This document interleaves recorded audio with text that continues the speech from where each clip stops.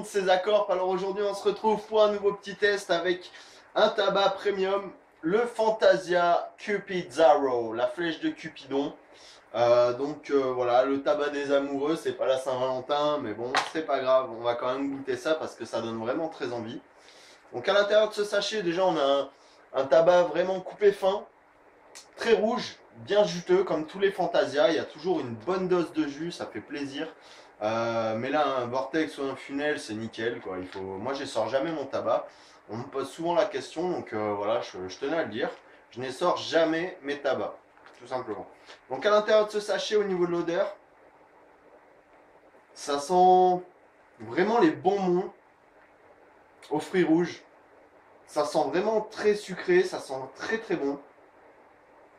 En général, c'est pas les tabacs que, je préfère aux fruits rouges. Je trouve ça un peu simple. Pourtant, ici, euh, il y a un petit truc qui, rend bien. Et ça donne vraiment envie. Moi, je, trouve l'odeur vraiment très agréable, très bonne. Euh, je lui mettrai 5 étoiles pour l'odeur. Euh, sans, ouais, franchement, sans déconner, ça vaut bien un 5 au niveau de l'odeur. Ça sent vraiment très très bon. donc la session d'aujourd'hui, elle va se passer sur la Mia Chic que j'ai mêlé avec euh, la colonne de la QT2, foyer Vortex, charbon instant light naturel 40 mm, et le foyer euh, le tuyau Kaya interlude, pardon, je, m'emballe un peu. Donc j'avais couvert, histoire de garder la chicha au chaud, ça fait 20 minutes que j'ai commencé la session. Je vous donne mes impressions sur le goût tout de suite.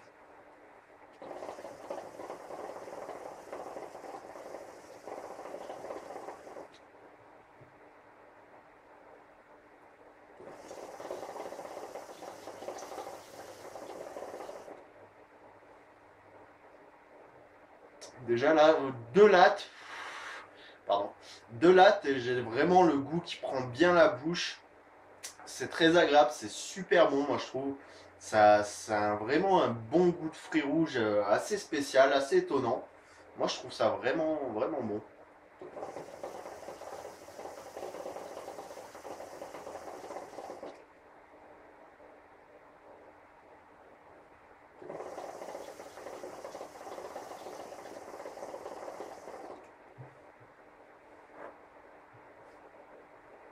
Vraiment, le mélange est intéressant. Euh, moi, je, trouve que c'est c'est assez ressemblant avec le, le Starbuzz euh, White Berry Mint, ouais, si je dis pas de bêtises. Euh, je trouve ça assez ressemblant. en plus, en effet, plus bonbon en fait, un peu plus sucré, un peu plus, un peu plus, voilà, concentré, on va dire. Je trouve c'est assez, assez bon. C'est vraiment, vraiment intéressant comme parfum.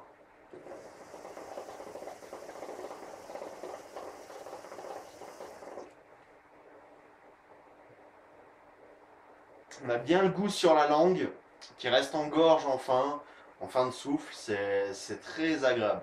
Franchement très agréable,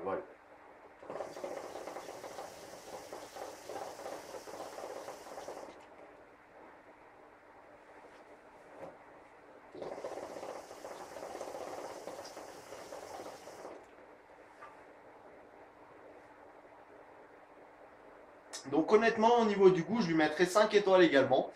Euh, parce qu'on retrouve euh, bien ce qu'on a dans, le sachet euh, au niveau de l'odeur. On a vraiment la puissance en, bouche et c'est un parfum intéressant. franchement, 5 étoiles, ça les mérite bien. Maintenant, je vais passer à la fumée.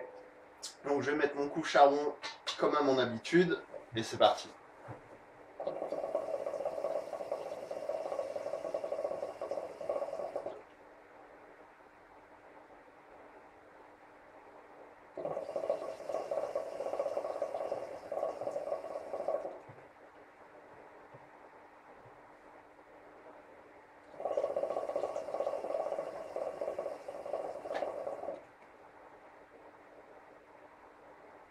Je trouve qu'on a une très belle fumée, donc euh, digne Fantasia.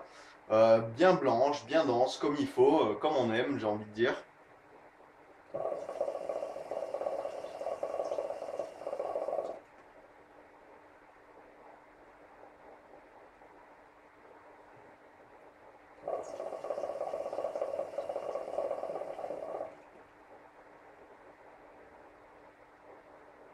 La fumée est vraiment très belle, moi elle me, plaît complètement. Euh, c'est vrai qu'aujourd'hui j'ai pas une belle luminosité, c'est un peu dommage, mais euh, sinon ça rend vraiment très bien. La fumée est très belle.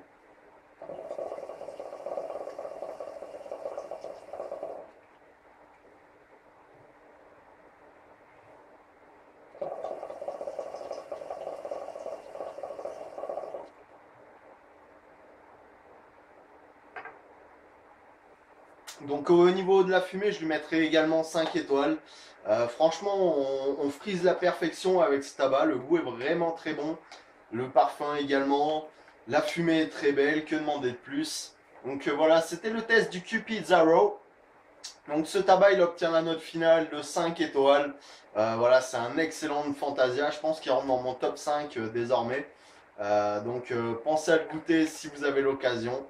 J'espère que ce test vous aura plu. Si vous voulez vous abonner, ça se passe juste dans le coin à gauche. Pensez à lire la description.